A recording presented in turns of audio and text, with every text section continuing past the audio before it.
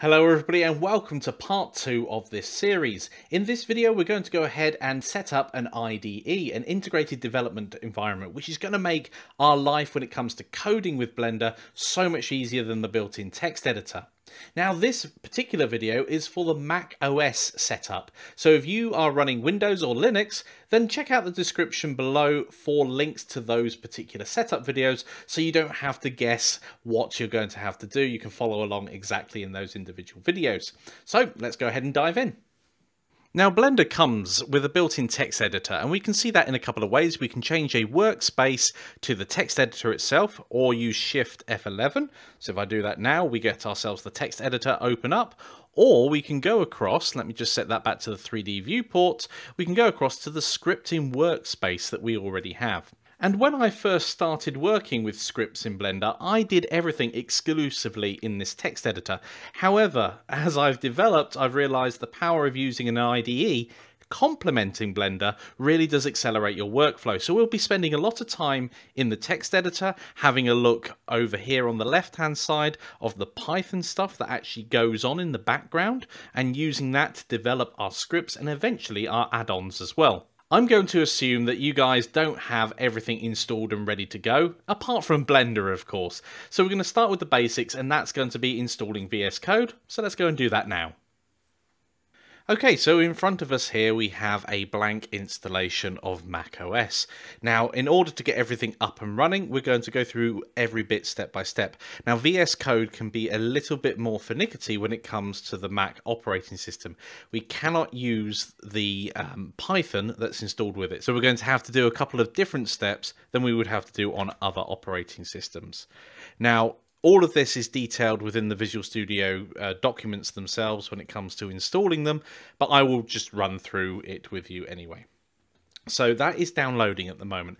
The other thing that we're going to have to do is install Python. Now, in order to get it to work in the way that we need it to work, we're going to install it through Brew. And this being a brand new installation, we're not going to be able to do that. So I'm going to go to the uh, address bar at the top here um, delete everything that's in there, and we're going to go to brew.sh. That'll go to the appropriate site. And what we will need to do is paste this into our terminal. So let's go ahead and do that now. Let's copy this bit of code. Of course, look it up. If you don't trust this bit of code, you shouldn't run it. If you feel safe, then of course we can go and launch ourselves a terminal and paste that in. Now, if you don't or can't see this very well, remember you can hold down, um, I believe it's Control and Plus, Command and Plus. There we go. We can make the console bigger so we can see it a bit more easily. So I'm going to let that run. That's fine. Press return, type in our password, and then we're going to have to wait a few minutes. Now, this can be up to 10 minutes um, on my particular computer. Yours may be quicker or slower, depends on your internet connection and your computer speed. So we're going to let this run through. And in fact, whilst that's downloading at the moment, VS Code has successfully downloaded, but I don't want to leave it where it is. I want to go into Finder, go to my downloads and I'm going to click and drag it from the downloads folder into my applications folder. And it's out of the way and we might as well get that launched as well. So I'm going to launch it from the launch pad in this case. You could launch it from uh, a search bar or indeed add a shortcut if you wanted to. Visual Studio Code is an app downloaded from the internet. Well, we're going to open it because we trust it. Okay, so with Visual Studio Code open, I'm going to press Command and the plus key a couple of times to make it nice and large. I'm going to double click on the header bar at the top. There we go. So it's filling up our screen. And then I'm just going to have a quick look at Terminal to see how everything's going here. It's still downloading stuff. This, as I said, can take up to 10 minutes. So whilst that's going, let's sort out um, Visual Studio Code here. I'm going to go to the sidebar here and click on Extensions, and I'm going to search for, or I don't have to search here, Python is at the top. If we click on it, it looks like this, lots of downloads. We're going to go ahead and install that. And each time you install something like this, it can take a few moments for VS Code to catch up. And in some cases, it's even better if you just shut VS Code down fully by going to code at the top left and quit Visual Studio Code. We don't want to do it at the moment though, it's installing. But after we've installed everything, that can help solve a few bugs or at least give it a kick up the backside to actually get working uh, with its extensions installed. As well as this extension, we're also going to install a Blender extension. So we're going to go ahead, type in Blender and click on install under Blender development. But we're going to go ahead and install that. And that'll help us out later on when it comes to the actual Blender development. We can hop straight in. Hey, look, I've just increased the download count. We can hop straight into Blender and run it straight from here. Now, there's going to be a few issues here. The Mac OS system installer Python's not recommended. That's why we're doing this thing down here with the terminal. And it's still downloading at the moment, so we're going to have to leave that there. I'm just going to dismiss that for the moment, and we'll be able to sort it out in a bit. Okay, so let's get rid of that. We're ready to go. Let's set up a working folder. So I'm going to click the two files, which is the Explorer. I'm going to go to Open Folder now you can open any folder that you like, but I'm going to go ahead and create a new folder and call it test. And inside that test folder, once we've opened it, you'll see the whole of VS Code will refresh and now we're working within that folder. We can create new folders, we can refresh it. Um, if you link it, you can also end up um, tracking your changes, which is really useful.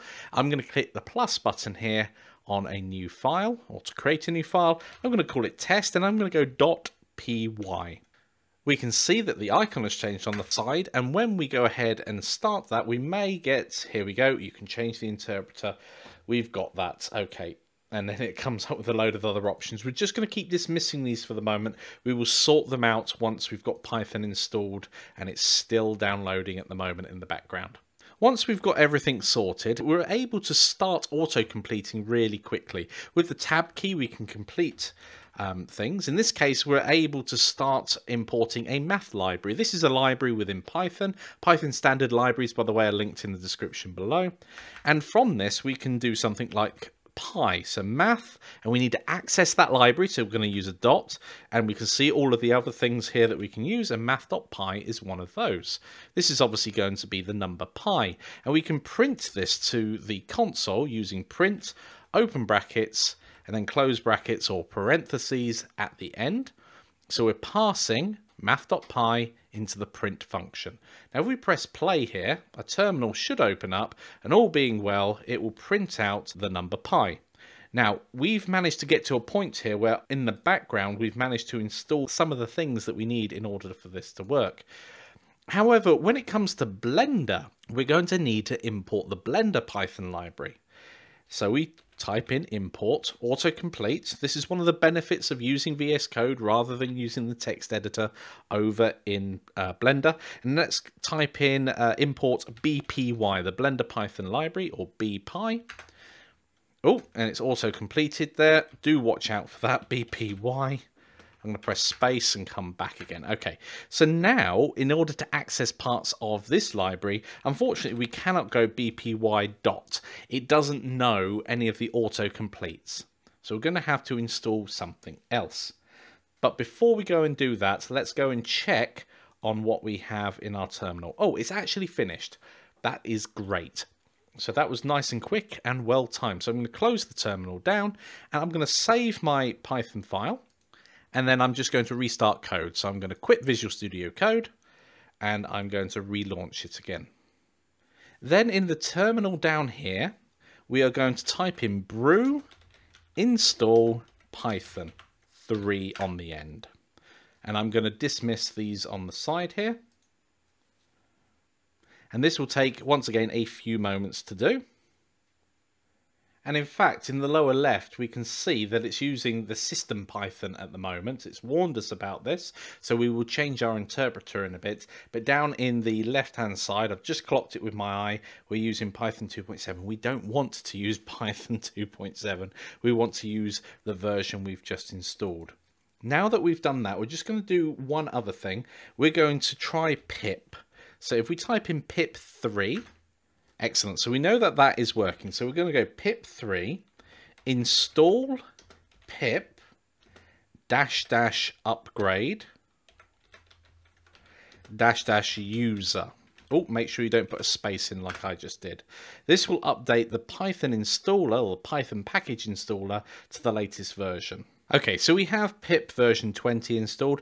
I'm not sure what version Python we have installed. You can check that by typing in python 3 dash dash version. So we're running 3.77. Even though that's not the latest, that's absolutely fine for what we are going to be doing. So we won't be updating that at this point in time.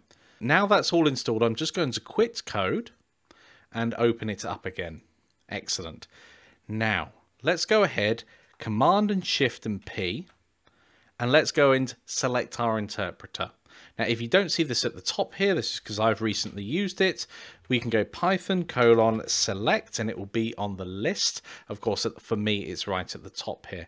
Now we've restarted, we've got a series of options. In this particular case, I'm going to select this second one down here, 3.77. And we can confirm that down in the lower left. You may have noticed before that it said 2.7.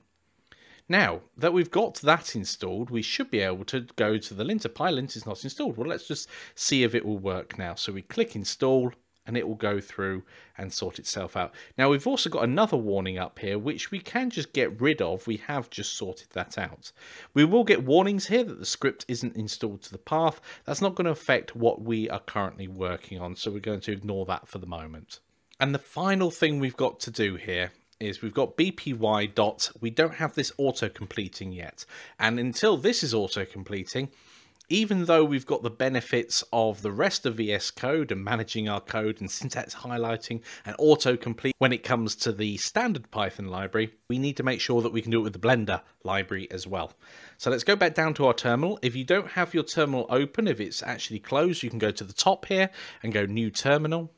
In fact, that will clear everything down, which is nice. And we have to type in here pip3 install fake dash bpy dash module dash 2.82.